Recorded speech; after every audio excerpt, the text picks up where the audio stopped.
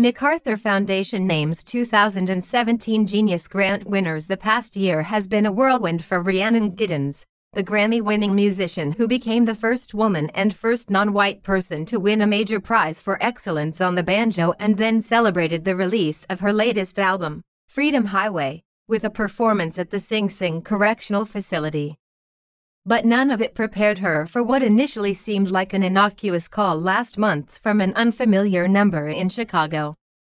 I had fantasized about that moment ever since I knew it existed, Ms. Giddens, 40, said, recalling the day she learned she was among the 24 people chosen as 2017 Fellows of the John D. and Catherine T. MacArthur Foundation.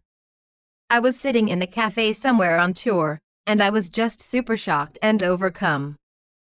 The fellowship, which honors exceptionally creative people, comes with a no-strings-attached grant of $625,000 to be awarded over five years. It is known colloquially as the Genius Award, to the sometime annoyance of the foundation. Cecilia A. Conrad, a managing director of the foundation and the leader of the Fellows program, said the goal was to find people on the precipice, where the award will make a difference but also to inspire creativity more broadly. We hope that when people read about the fellows, it makes them think about how they might be more creative in their own lives, Miss Conrad said. It does something for the human spirit. The honorees include relatively well-known figures in the arts, like the playwright Annie Baker, 36, who won the 2014 Pulitzer Prize for the flick, the theater artist Taylor Mac, 44, the creator of the 24-hour piece A 24-Decade History of Popular Music, and the writers Jesmyn Ward, 40, and Viet Thanh Nguyen, 46. The youngest fellow is Cristina Jimenez Moreta, 33, a founder and executive director of United We Dream, a national network of advocates for immigrant youths. The oldest is Dawood Bey, 63, a Chicago-based photographer and educator whose portraits of communities include Harlem Redux and the Birmingham Project. Even some fellows who have already achieved substantial recognition described the honor as bringing palpable relief. I feel released from a profound, decades-old financial anxiety, Ms. Baker said by email. Now my job is just to wake up every morning and ask myself, what do I want to write? What is the most important thing I could be writing? Few honors are as wrapped in mystery and speculation as the MacArthur.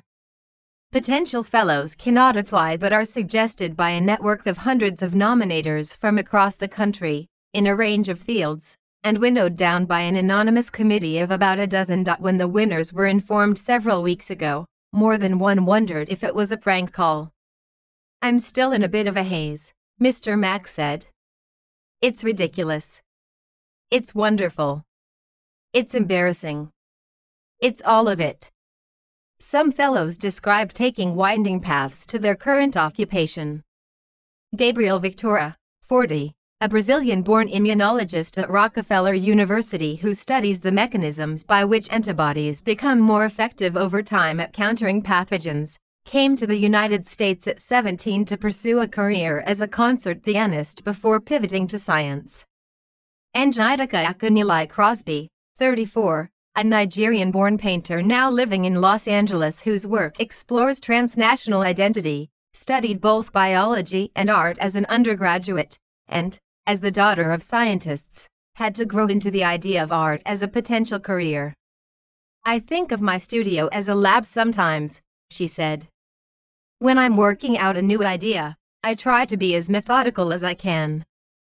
Jason DeLeon, 40, an anthropologist at the University of Michigan, trained as an archaeologist studying ancient sites in Mexico, before shifting focus to clandestine migration across the United States-Mexico border, which he studies using a combination of oral history, archaeological research, and forensic science. I wear a lot of different hats in my work, Mr. De Leon said. Most of my career has been defined by making it up as I go along. Other fellows include Nikole Hannah-Jones, 41, a staff writer for the New York Times Magazine who writes about racial injustice in housing and education. Yuval Sharon, 37, a Los Angeles-based opera director who has staged works in a train station and a fleet of moving cars, and Trevor Paglen, 43, a conceptual artist and geographer whose work explores invisible aspects of military and corporate power. While only individuals are eligible for fellowships, some winners spoke of the intensely collaborative nature of their work and of the ways they might use the money and prestige to benefit collaborators, including non-professionals.